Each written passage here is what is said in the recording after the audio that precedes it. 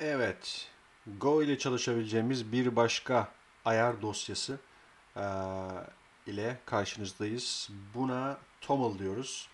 Tom's Obvious Minimal Language. Bu isimde bunun kısaltması TOML.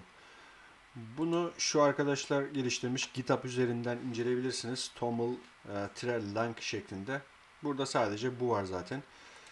E, epey bir contributors var ve stars almış gördüğünüz gibi ve güncelleniyor. Farklı farklı versiyonları var. 3 ve 4 versiyonu var. Yanlış hatırlamıyorsam. Evet. Bunlarla ilgili example'lar da var. Örnekler. Mesela 4 yıl önce yapılmış bu. Gördüğünüz gibi. Mesela 21 gün önce versiyonlar güncellenmiş. Şöyle farklı diller eklenmiş. Burada gördüğümüz gibi. Ee, şöyle TOML'a genel bir bakacak olursak ee, bunun söz dizimi de çok benzer e, YAML'a. Ee, şurada işte iki nokta üst üste değil eşittir kullanılıyor. Mesela bunu yaparken.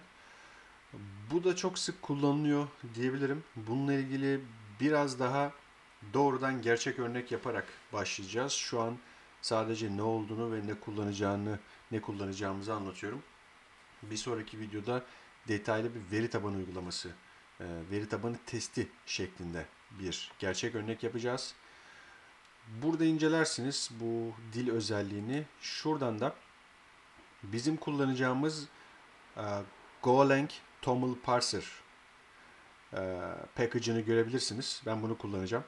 Farklı parserlar da vardır ama bu sağlıklı görünüyor bende. Şu ana kadar kullandığım bu. TOML Parser for Golang with Reflection. Burada reflection kullanılıyormuş mesela. E, hemen bunu merak etmeniz gerekiyor aslında böyle durumlarda. Reflection nedir? Eğer bilmiyorsanız bununla ilgili Go Reflection konularını inceleyebilirsiniz. E, burada şöyle bir bakabilirsiniz nasıl kullanıldığına mesela. Gayet şu şekilde yaptığınızda bunu basit bir şekilde kullanabilirsiniz. Söz dizimi şöyle. Ee, Bizimki daha gerçekçi bir uygulama olacak ve uygulama örneğinde görüşmek üzere.